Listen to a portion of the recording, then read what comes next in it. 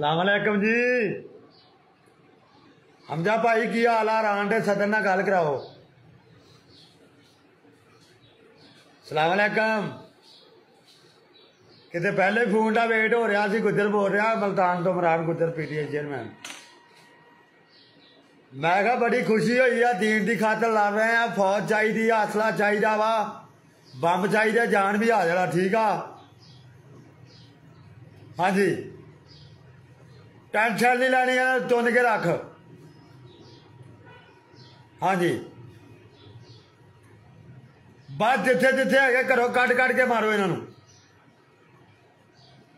ਮੈਂ ਤਾਂ ਅਮਰੀਕਾ ਦੀ ਰਾਤੀ ਵੀਡੀਓ ਵੇਖੀ, ਮੈਂ ਕਿਹਾ ਯਾਰ ਇਹ ਕੀ ਬਣ ਗਿਆ? ਕੰਮ ਹੀ ਖਰਾਬ ਹੋ ਗਿਆ।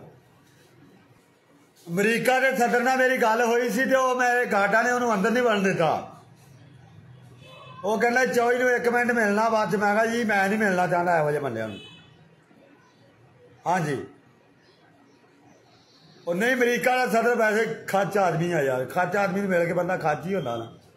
ਰਾਤ ਦੀਆਂ ਮਿੰਟਾਂ ਤਰਲੇ ਵੀ ਸਾਡੀ ਰਾਤ ਤੋਂ ਜਾਨ ਛੜਾ ਯਾਰ ਕਿਸੇ ਤਰੀਕੇ। ਮੈਂ ਕਿਹਾ, ਇਹ ਜਾਨ ਨਹੀਂ ਛੁੱਟਣੀ ਪੰਗਾ ਤੁਸੀਂ ਪਹਿਲਾਂ ਲਿਆ ਵਾ। ਠੀਕ ਆ, ਮਿਹਰਬਾਨੀ ਮਿਹਰਬਾਨੀ। ਓਕੇ।